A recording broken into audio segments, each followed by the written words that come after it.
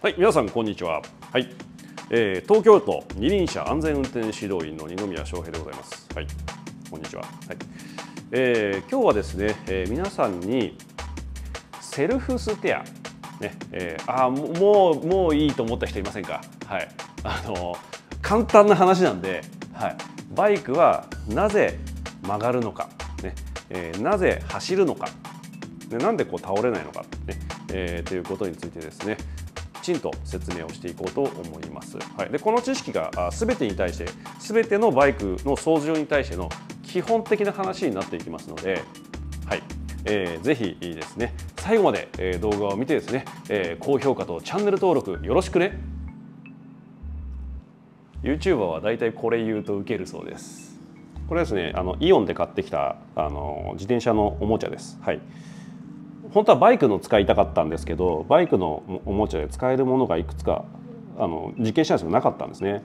でこれこうタイヤ回ります当然。ね。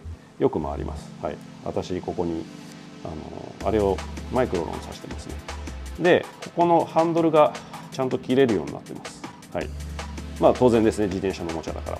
でこの基本構造だけでいうとオートバイと全く同じなんですね。まあここがねあのちょっとずれてるとかそういうのはあるんですけど、まあ、基本的な構造は同じです。はい、でこれを下を下でこう押すとどうなるどうなるでしょうかね。えーとじゃあこの辺からやりましょうかね。いきます。これをねこうやってこうやってやるとどうなるでしょうか。いきます。ほっ。ね。反対側からいきますよ。ほっ。ね。えっと。走りますね。走りますある程度。ではこのハンドルを固定します。このハンドルをこうやってテープで簡単に取ります。そうするとねハンドルまっすぐなまま固定しますね。さっき僕はこう手で押さえてこうガッてやったからやらないと最初こけちゃってたと思うんですけども。じゃあ今度ハンドルをここテープで固定してやってこう走らしたら押さえなくてもまっすぐ進むんじゃないかなってね。思いますのでじゃあやってみますよ。せーの。あれ？もう一回。勢い足りなかったのかな？ほっ。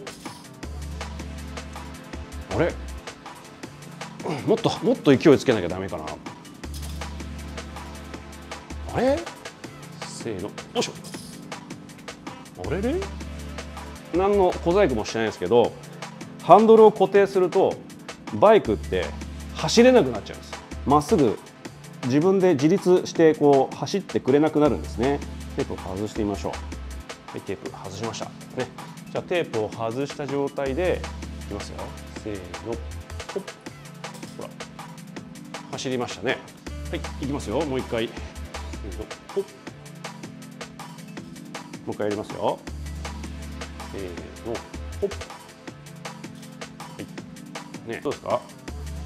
ほ走るようになりました、えー、これがなぜ起きるかという話なんですけども実はですね、えー、バイクというのはですね自分の進行方向に合わせて微妙にハンドルがこう動いてます、はい、これ何をしてるかというとバイクは倒れようとするとそっち側に少しハンドルが切れるようになってます。でそうすると立ち上がります。で反対側に傾くとそちらにまたハンドルが切れてで立ち上がります、ね、だから微妙にこう左右に動く動きを続けながらバイクというのは自立するんですね。バイクが倒れそうになるとハンドルが傾きますね。ねでバイクを起こそうとする力が働きます。はい、で当然反対側になると反対側に倒れて傾いてハンドルが切れてバイクを起こそうとする力が働きます。これを続けながら実を言うとまっすぐ走っているように見えるんですけど実を言うとハンドルが微妙にこう切れながらバイクというのはバランスをとってるんですね。これは人が操作しているわけではなくてこのキャスター角というものがついていることによって勝手に発生する力です、はい、これをセルフステア。と言うんですね。セルフ自助的なステア打角です、はい、自助的な打角。セルフステアと言います、はい、じゃああのこのセルフステアを発生しないように要はハンドルが切れないようにテープで固定したらバランスが取れないのですぐにこ転んでしまった。というのが先ほどの実験結果です。では私がよく言っているバイクが傾けて曲がるのではなくてハンドルを切って曲がるんだよ。バイクはタイヤが向いてる方向に行くんだよ、ねえー、という話をよくしていると思います。当然ですね。でそれに対するいろんな反論を見たんですけどもキャンバースラストを勘違いしている人がいてですねありなんですけどもこういう丸いものは傾けるとこうこういうふうに回るじゃないですか、ね、傾けると。これをキャンバースラストというんですけどもあのタイヤ2個ありますのでバイクの旋回というのはですねキャンバースラストだけでは説明できません。じゃあ例えばもう一回ハンドル固定します。でこの状態で車体をこう傾けてやるとどうなるか曲がるか。曲がんないですね。ほら。外側に滑っていくことでこう曲がるような動きは見せるんですけども基本的に車輪が動かなければ滑らなければほぼまっすぐ進んじゃうんですね。ほら。ね。でさっき外側に滑ることで曲がるような動きを見せるって言いました。これオフロードバイクが曲がる理由です。オフロードバイクは傾ければ曲がるじゃないか。そうじゃないんです。オフロードバイクは曲がってんじゃなくてあれ滑ってるんです。こうやって、はい。ね、こうやって滑ってるんです。滑れば確かに曲がります、はい、でもあれはオフロードという特殊な路面でしか実現できない旋回方法です。一般道で一般車がタイヤを滑らせながら曲がるなんてありえないです。そんな乗り方する人いないですね、はい、だからバイクは傾ければ曲がる、ね、オフロードはそうじゃないかっていうのはあれは特殊な曲がり方です。で今このように曲がると曲がりはするんですけど前輪を軸に中心としてこういうふうに曲が回転しちゃうんですね。曲がるんだけど車体もこう回転していきます、はい、でその回転を防ぐためにハンドル逆半切って滑らしながら前輪は外側に向かってるんですね、はい、こうやって。こうこうすると回転しちゃうから。前輪を反対向きにしてこういう動きをします、はい、これが二輪ドリフトの原理です。なのでハンドルが切れている方向にバイクが向かうという大原則があって初めて成り立つ話ですね。では MotoGP めっちゃバイク寝かしてるじゃん、ね、バイク寝かして曲がってるじゃん。あれは寝かせて曲がる。確かにそうなんですけどもハンドルが切れる打角。これを総打角と言います。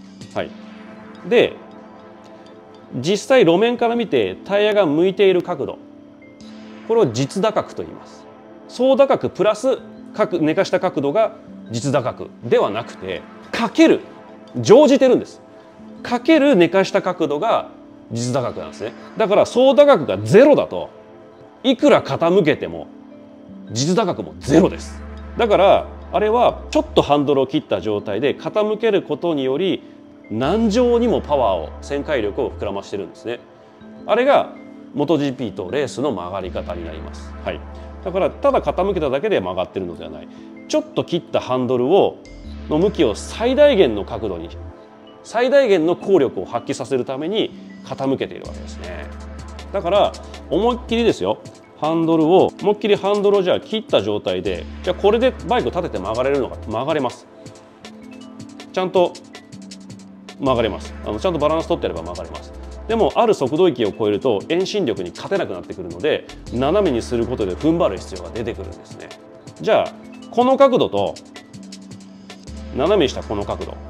はい。実を言うと路面に対しての打角のつき方パワーの入れ方っていうのはあまり変わらないんですね。何が起きてるかというときちんと路面のカーブに沿って前輪を向けている。ただそれだけです。こうやって車輪を立てあの車体を立ててこうやって曲がっていくのと寝かして曲がっていくのと。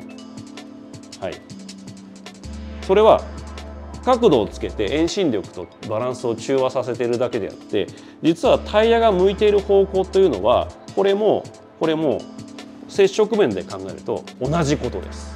えー、まあこれ分かりづらいと思うんであ同じなんだなって思っておいてください、はい、当然寝かした状態で逆のハンドルを切るとグリップしてたらどうなるか、ね、あのオフロードだと滑らせれば曲がると言いましたけども寝かしてハンドル逆に切るとどうなるかというとほら。ね。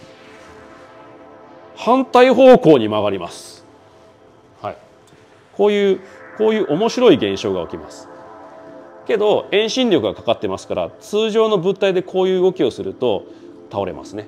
はい、車輪の向きでいうとこのように反対バンクでも曲がることができます。はい、でもこれは物理的には成立しないので遠心力と中和させるために内側を向ける必要があるということですね。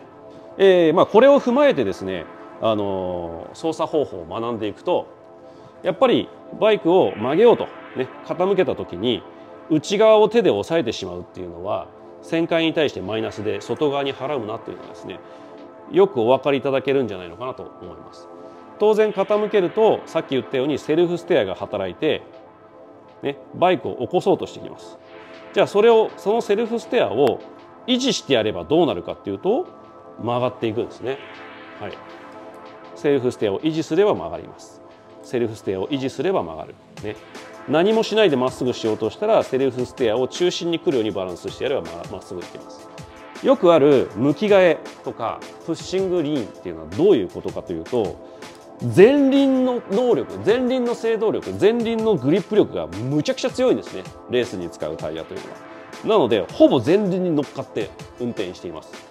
なのでセルフステアを当てにしてセルフステアっていうのはフロントのグリップなのでセルフステアを当てにしてサーキットでこう曲がろうとすると曲がりすぎちゃうんですね。曲がりすぎちゃうんです、はい、なので抑えてセルフステアを抑えて旋回力を調整する必要があるんですね。で調整してぐーっと入ってきてスピードが落ちて落ちてもうここから先だったら急に曲げてもこけないっていう時にふってこう力を抜くんですね。そうするとその時まで抑えられたセルフステアがガクンときます。で向きが変わってでバイクを起こして加速。はい。これがレースでいうプッシングリーンとかあの向き替えとかいう話だと思います。多分ねプッシングリーンって今言わないと思います、はい、あれ結構古い言葉なので昔あのバイアスタイヤで走ってた人たちが使ってる言葉なんじゃないかなって僕は思うんですけども誤解でしょうか？はいえー、というわけで皆さんね、えー、このこのおもちゃ1つでですねいろんな実験ができるので、まあ、1300円ぐらいなので、まあ、買ってみるといいかもしれませんいい温で売ってました。はい、というわけで今日はあ、ね、これを使いながら基本的な実験ですねバイクはなぜ走る曲がる、ね、なのかということをやらせていただきました。はいえー、ご視聴どうもありがとうございました。